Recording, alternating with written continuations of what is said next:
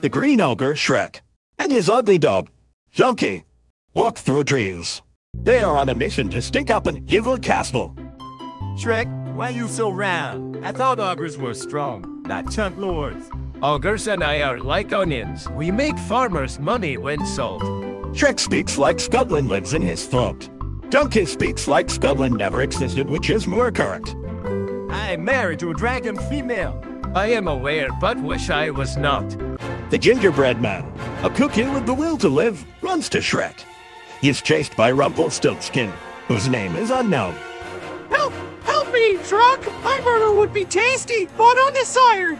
The cookie hides behind Shrek's greasy, girthy greenness.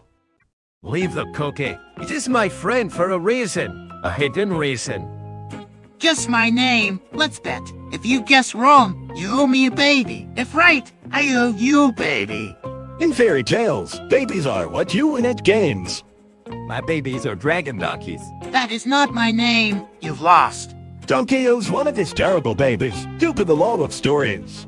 Names are earned, not guessed. Shrek punches Rumpelstiltskin, causing him to burst into hay, the rice for horses. Shrek kills because this is kids' movie.